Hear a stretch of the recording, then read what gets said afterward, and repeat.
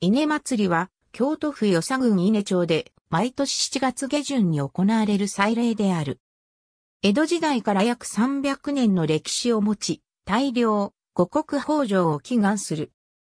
別名、海の祇園祭。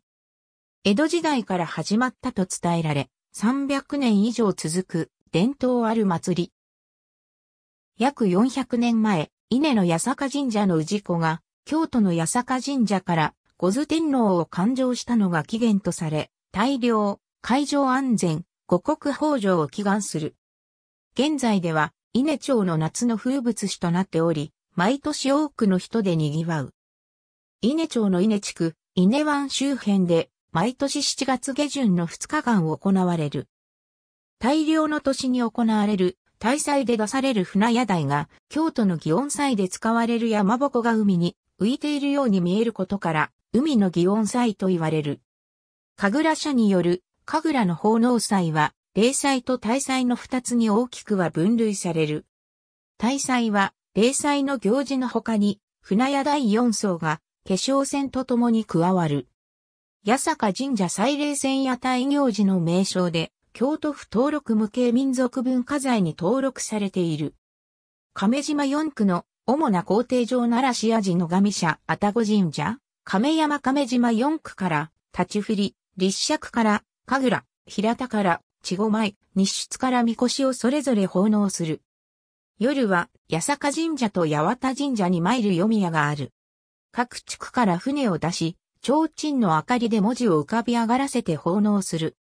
亀島四区の主な皇帝丸一会場東京八坂神社、八幡神社、恵比寿神社総大区長二日目における本祭では、まず、平田の稚語前が奉納され、続いて、亀島から出た一行が祭礼船、神楽船に乗って、海上渡御を行い、高梨の宮の浜に乗り付け、宮入りをする。先頭に、特決が立ち、神楽、新墓地、棒振り、立ち振りの順に賑やかに宮へ練り込み、立ち振りと神楽を奉納する。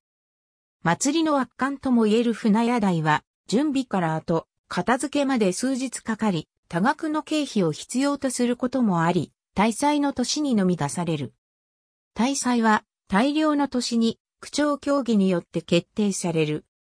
大祭における船屋台は、亀山から蓬莱山、耳鼻から東海山、立石から神楽山、高梨から恵比寿山という4層が出船する。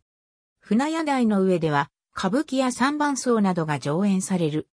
背後を豪華な見送りで飾られた船屋台が、稲湾内を巡行する姿は、海の祇園祭りに例えられる。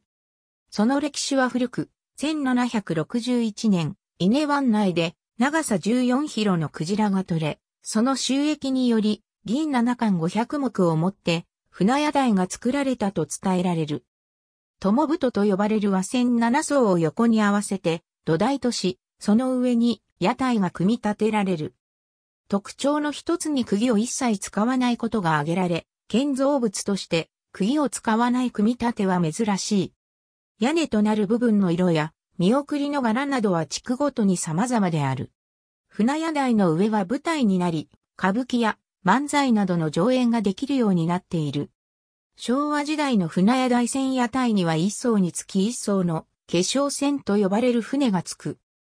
化粧船は天馬線を偽装したものであり、船屋台で上演される歌舞伎などに出演する役者らが着替えたり、化粧を施すための船として用いられる。ありがとうございます。